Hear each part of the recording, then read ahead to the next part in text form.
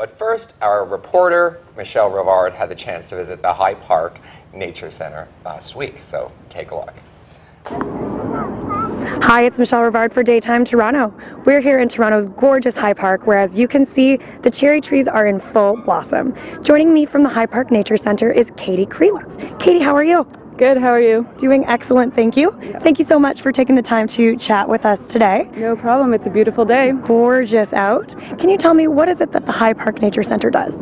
Uh, the High Park Nature Center is an outdoor environmental education center. We're non-for-profit and we try to teach people about the amazing nature in High Park. How long has the Nature Center been a part of High Park? Oh, it's been about 10 years now.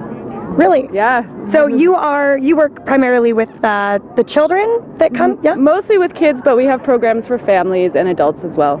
So what kind of programs uh, would would I be able to take part of with my family? Uh, well, on weekends we have family nature walks, uh, and they're always different themes. Uh, we actually have one tomorrow that's a fungus walk. Uh, so they're led by uh, experienced naturalists, and they're fun activities for the whole family. So obviously the cherry blossoms are in full bloom and it's quite early in the season. Uh, what's what's the normal cycle for the cherry blossoms? Uh, well, the cherry blossoms can bloom anywhere, usually be, uh, between the late April to beginning of May. So this is definitely on the early, a bit early side. Last year they were May 1st was the main bloom.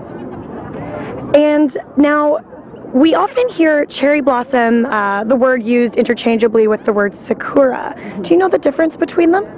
Uh, sakura is just the Japanese word for cherry blossom, um, and there's many different varieties of sakura trees. The ones that are mostly here in High Park are called Yoshino sakura, and then there's also the term Sakura Hanami, which is the Japanese term for enjoying or watching the cherry blossoms. So if we look around, we're definitely seeing Sakura Hanami happening, happening right now? Right now, yes. and um, now, are these trees um, native mm-hmm. to uh, Toronto? Uh, no, these trees, uh, and there's about 2,000 of them, were donated to the citizens of Toronto by the uh, Japanese ambassador in 1959 and it was in appreciation of Toronto uh, relocating uh, many Japanese Canadians after World War II.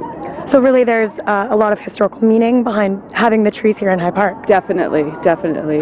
Do you think that um, there's a lot of like I've noticed that it seems to be like a lot of Japanese people coming to enjoy in the Sakura Hanami. Is it something that all cultures could enjoy?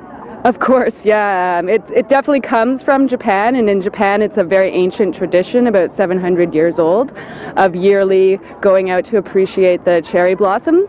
But I mean, since then, it's spread all over the world, and there's cherry blossom festivals all over the world, and there's no reason that everyone can't enjoy it. So, you what was what was the name of the trees you said we're looking at here? They are the variety is called Yoshino Sakura and uh, but there's different varieties within the park but the ones here are that variety. And these ones are predominantly white. Are there also i've seen lots of pink. Do you have pink here in the park? They can be white to light pinkish yeah. Um, and it just depends on the variety and the individual trees as well but most of them are white here. So if i was looking to come to high park to take part in enjoying the trees when should i come uh, you should be here right now. uh, no, they do. Uh, they've been in bloom for a few days, and this is about peak bloom, and the peak bloom usually lasts about a week. So there's oh, a so there's this weekend could be good. Uh, hopefully we won't get too much rain because wet rain and high winds can also kind of um, push the blossoms off the trees. But this weekend should still be good. So what do the trees look like year round? You're saying the blossoms are really only here for about a month. Are they just bare trees or do they have what do they look like? Uh, no, so uh, cherry trees are, are different from other trees in that they get their uh, flowers first, but they will get uh, leaves after that, and then um, cherries as well. Uh, not so edible for humans, but very edible for a lot of the birds in the park. Uh, robins and uh, cardinals and uh, waxwings love to eat them. So now we're in the park. Obviously, the High Park is enormous. Where is the best spot to view the trees? Um, this area is really great where we are. So we are just um, east of Grenadier Pond. Um, but there are other areas uh, by the zoo where you can see them and a little more north as well. Um, but this is a great area, and then you're also very close to the pond, which is beautiful as well. Are there any events coming up at High Park um, coming up maybe this summer, that May, you want to let us know about? Uh, well, the High Park Nature Center, like I said, we have uh, events for families throughout the summer, usually on a weekly or bi-weekly basis. We have nature walks, um, and uh, we, then it, we have special events.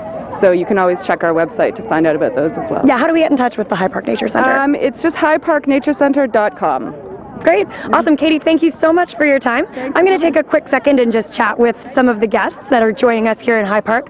Hello, ladies. Hi. How are you? Hi. Good. Where are you joining us from today?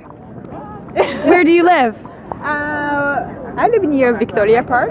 And then I'm at the Harbourfront area. Harbourfront area. Where are you originally from? Oh, original from okay, Japan. You're all from Japan.